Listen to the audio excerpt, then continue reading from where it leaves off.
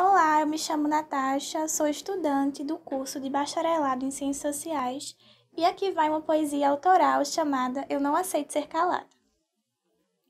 Vestiram-me em vestidos de seda, em troca de ser recatada, mas em cerne eu escandalizo. Em sexo fui condenada, silenciada, como bruxa fui queimada, escravizada por cor, como indígena colonizada. Minha pele foi rasgada, mas hoje eu não aceito ser calada, porque para ser mulher basta um triste para perder a fé.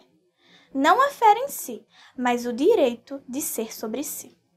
Queriam-me como Amélia, quieta, sobre o viés de um homem.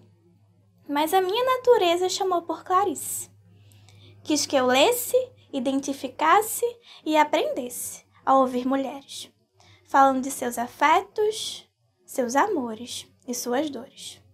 Afinal, quem melhor que uma mulher para falar de mulher?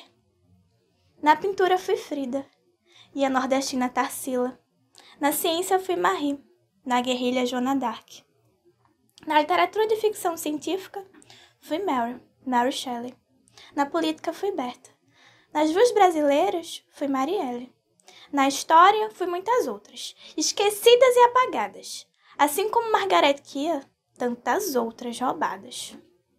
Celebro a bravura e a força da representatividade de Femelu, a astúcia de Cainine, a vivacidade e a graciosidade de Chimamanda, que as escreveu, a sensualidade e a ousadia de Hilda Hilst.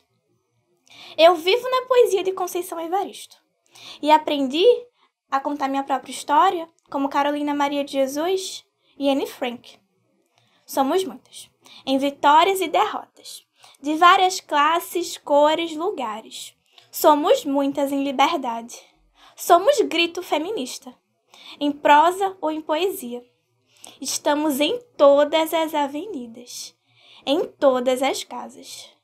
Que no mundo inteiro de resistência seja tecida a nossa essência.